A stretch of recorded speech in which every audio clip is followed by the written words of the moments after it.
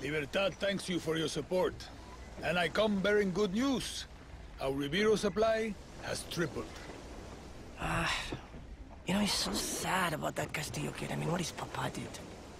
Wow, that is crazy. Nah, a tragedy. Well, you know, some people are just sick in the mind, hermano. They're out of control.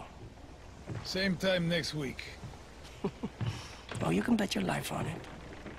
Yeah.